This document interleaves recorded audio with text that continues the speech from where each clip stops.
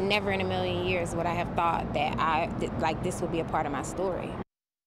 A cross no mother wants to bear. Still, the mother of Cameron Jackson is hoping the latest arrest in her son's murder can bring her some sort of closure. Atlanta police announcing two arrests this afternoon. And within the last hour, 11 Alive's Tracy A. McPherson spoke with Cameron's mom, Tiffany Smith. She joins us live near the 17th Street Bridge where that shooting took place. Tracy.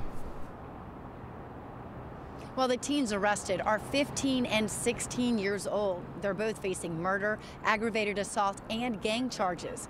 Cameron Jackson's mom tells me that these arrests are just another sad part of this story. Now, police say that her son was riding a scooter to Atlantic Station when he was shot the Saturday after Thanksgiving. He and 12 year old Zyion Charles both died after being hit. Four other teens were also shot but survived. Police have said the shooters were specifically targeting Cameron but haven't said why. Now, according to police, the 15 year old and 16 year old in custody are both APS students. Police say one was taken into custody in New York, and police believe both suspects knew Cameron. Now, Cameron's mom, Tiffany Smith, says these arrests make it even more real to her that her son is not coming home.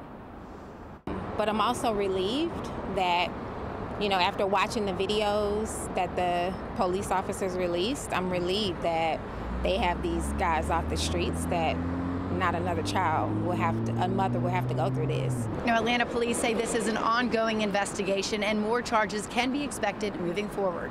Reporting live from Atlantic Station, Tracy A. McPherson, 11 Alive News. All right, Tracy, thanks a lot.